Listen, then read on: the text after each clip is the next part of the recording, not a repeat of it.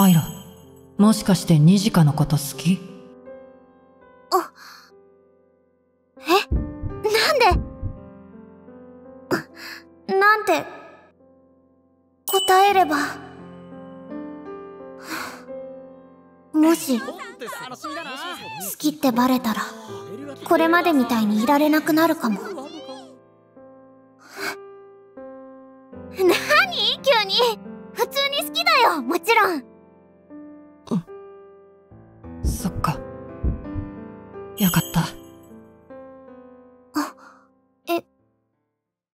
さあついにビューティーコン最終審査に入ります。最終候補者は前に。あ審査はいいんで棄権します。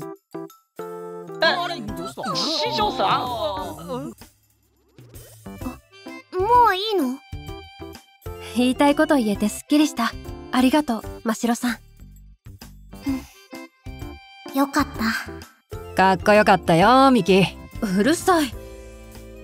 でもさっきついごまかしちゃったのは。本当にあれでよかったのかな。文化祭2日目もお客さん途切れないね。立花くんの完璧王子。真っ白さんの妖精。そしてモード系のニジカのおかげだわ。ニジカは今日もかっこいい系でよかったの？羊ニジカが大バズり。お願い。2日目も単走で。いいよかっこいいのも嫌いじゃないし。それに。今日は可愛いもつけてるし。いい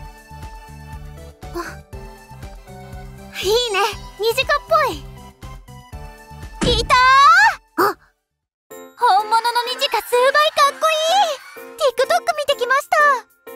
てもらえるって本当ですか？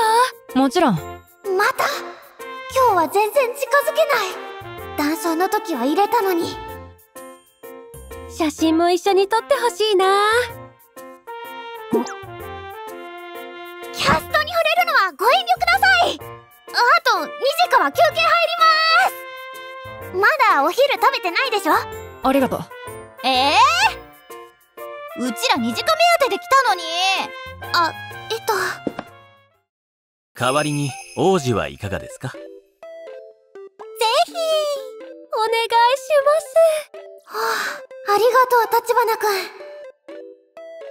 本当は半分はニジカが触られるのが嫌で間に入っちゃった